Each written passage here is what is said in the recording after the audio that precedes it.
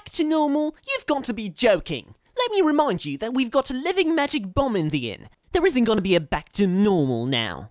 Mr. Samuel wanted to throw himself at Mr. Jeremi. However, because Stiepan isn't daft, he dragged Mr. Samuel to the latrine and knocked him out. Sure you can. When there's a will, there's a way, as the saying goes. Yeah. Indeed.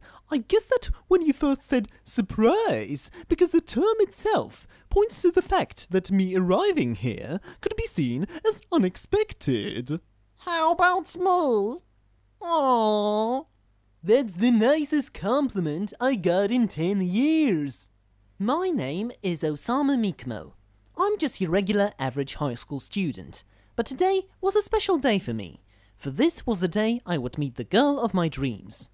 If you two don't want to, maybe I'll be the leader. After all, I'm the sniper. But all the candidates are in border. How can we find one in time?